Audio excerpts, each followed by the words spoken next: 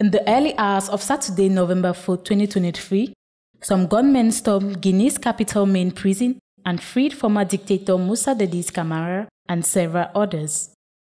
The announcement made by the Minister of Justice, Charles Alphonse Wright, came several hours after heavy gunfire erupted in the capital Conakry. According to the minister, at about 5 a.m., heavily armed men burst into the prison and managed to leave with four prisoners. A judicial source, speaking on the condition of anonymity, says the masked and heavily armed soldiers who arrived at Conakry's central prison said they had come to free Camara.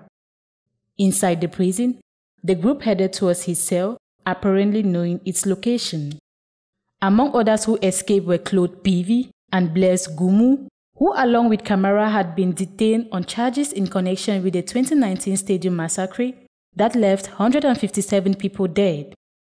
However, an attorney for Camara said later on Saturday afternoon that her client was back at the central jail where he was being questioned. Moussa Dadis Camara came to power in a 2008 coup d'etat following the death of a former dictator, Lansana Conte. Camara had lived in exile for years after surviving an assassination attempt by one of his bodyguards before returning home to Guinea in late 2021.